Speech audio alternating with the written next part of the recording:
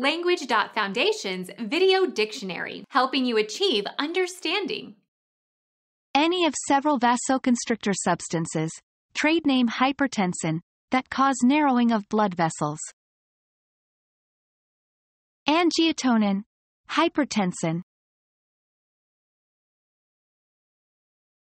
Become our student and get access to effective and free educational materials.